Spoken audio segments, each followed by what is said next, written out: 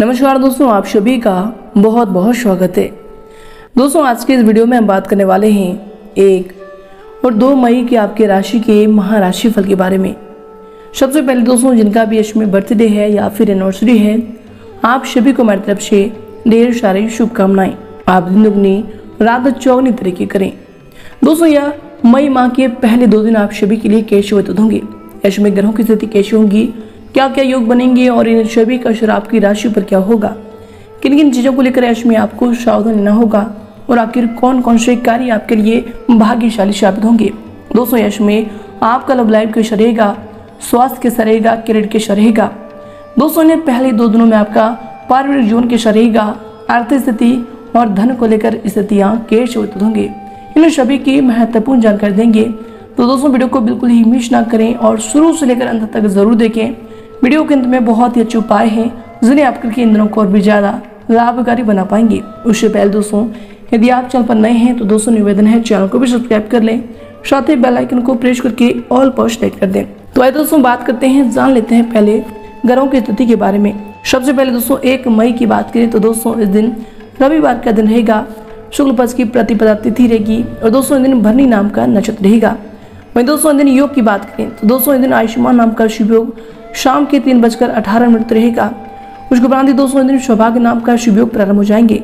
वहीं दोस्तों दिन राहु कल के समय की बात करें, अर्थात अशुभ समय की, दोस्तों, ध्यान रहे, आप यश में कोई भी शुभ और महत्वपूर्ण कार्य को भूल से भी ना करें। तो दोस्तों, यह समय रहेगा शाम के पाँच बजकर चौदह मिनट से लेकर शाम के छह बजकर पचास मिनट तक।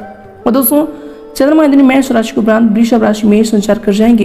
वही दोस्तों, अगले दिन की बात करें तो दोस्तों दिन सोमवार के दिन होगा पक्ष की द्वितीय तिथि रहेगी और दोस्तों इस दिन कृतिका नाम का नक्षत्र रहेगा। वही दोस्तों दिन योग की बात करें तो शोभा के नाम के योग के उपरांत ही शोभा नाम का शुभ रहेगा। राहु कल के समय सुबह के सात बजकर तैंतीस मिनट से लेकर सुबह के नौ बजकर दस मिनट रहेगा। और दोस्तों चंद्रमा दिन वृषभ राशि पर ही संचार करेंगे। तो आइए दोस्तों बात करते हैं दोनों की जो ग्रहों की स्थिति है और चंद्रमा का जो गोचर है आपकी राशि पर, आपके दिन दिनचर्या पर क्या क्या प्रभाव लेकर आती है। चलिए दोस्तों बात करते हैं पूरे विस्तार से। दोस्तों यह समय व्यवसायिक जातकों को भी अच्छा मुनाफा मिल सकता है, जिनके चलते आपको आर्थिक लाभ भी होगा। आपके खर्चों में वृद्धि देखी जाएगी। दोस्तों, यश में आप वाहन आदि की खरीदारी भी कर सकते हैं, जिसे देख आपको सुकून की अनुभूति भी होगी। वही दोस्तों, यश में अगर आपकी नेगेटिव को लेकर बात करें तो आपके पिताजी के जीवन में कई बड़े जो है बदलाव यश में आ सकते हैं। आपके पिता का ट्रांसफ़र या नौकरी परिवर्तन संभव है, जिससे चलते उन्हें दूर भी होना पड़ सकता है। दोस्तों किसी नज़दीकी रिश्तेदार के साथ आपका जो है रिश्ता खराब हो सकता है। सही संप्रेषण से आपको बहुत मदद मिलेगी।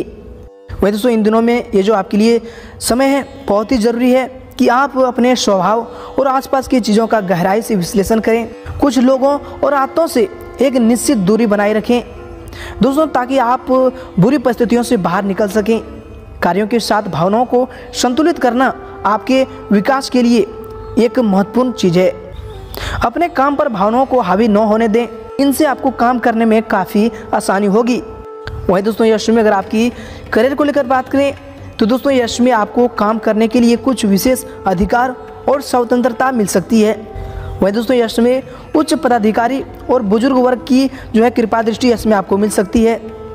ये जो समय है, आपके सभी काम सरलता से संपन्न होने के समय हैं। यह समय आप अपने कामों को सरलता से संपन्न होते हुए देख भी पाएँगे। नौकरी व्यवसाय के क्षेत्र में परिस्थितियाँ जो है अनुकूल यश में रहेंगी। वही दोस्तों, यश में अगर आपकी लव लाइफ को लेकर बात करें तो प्रेम जीवन के लिए ये जो समय है अनुकूल दिखाई दे रहे हैं। हालाँकि कार्य जो है, यश में कार्य की अधिकता के चलते जो है, प्रेम जीवन में कमी ज़रूर रहेगी।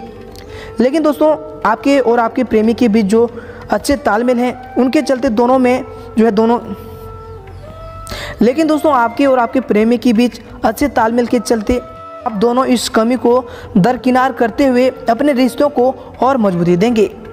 वे दोस्तों, ये जो समय है, आपको अपने रिश्तों में कुछ जो है बाधा भी नज़र आएगा। रिश्तों में ताजगी लाने के लिए आपको कुछ नया करने की यश में आवश्यकता होगी। वही दोस्तों, ये इन समय अगर आपकी हेल्थ को लेकर बात करें तो यश में स्वास्थ्य तो अच्छा रहेगा।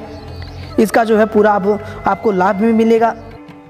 क्योंकि दोस्तों यश समय सेहत के लिहाज से ठीक ठाक समय रहने की उम्मीद दिखाई दे रही है।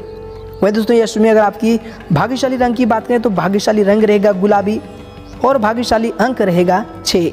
दोस्तों यश में विपरीत लिंगी व्यक्तियों की तरफ़ अपना ध्यान केंद्रित करेंगे। किसी के लिए अपने मन में कोमल भावनाएँ भी उदित होंगी। दोस्तों, पुराने संबंध नए मोड़ लेंगे अथवा नए संबंध बनेंगे। परंतु दोस्तों, वह प्रक्रिया धीमी गति से आगे बढ़ेंगी।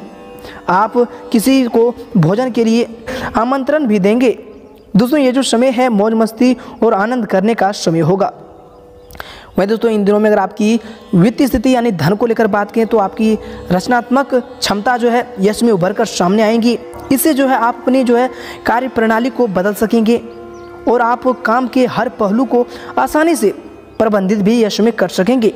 दोस्तों, यश में अपने रचनात्मक रस को फिर से भरने के लिए साहसी बनते हुए मौके के अनुसार आप जो है, अपने आप को ढाल लें। वही दोस्तों, इन दिनों में अगर आपकी पारिवारिक जीवन की बात करें तो ये जो समय है, कुछ चिड़चिड़े रहेंगे, जिससे आपके लिए जो है अनुमान लगाना कठिन होगा। सतर्क रहें, क्योंकि ये जो समय है, आपके साथी को दिमागी रूप से चकरा सकता है। वही दोस्तों, यह समय अपने साथी से आप झूठ बिल्कुल ना बोलें, क्योंकि ये जो समय है, स्थिति अधिक जटिल हो जाएँगी। वही दोस्तों, इन दिनों में अगर आपकी आर्थिक स्थिति की बात करें तो आप वित्तीय जोखिम ले सकते हैं आप किसी प्रोजेक्ट के पीछे पैसे का निवेश करना चाहेंगे।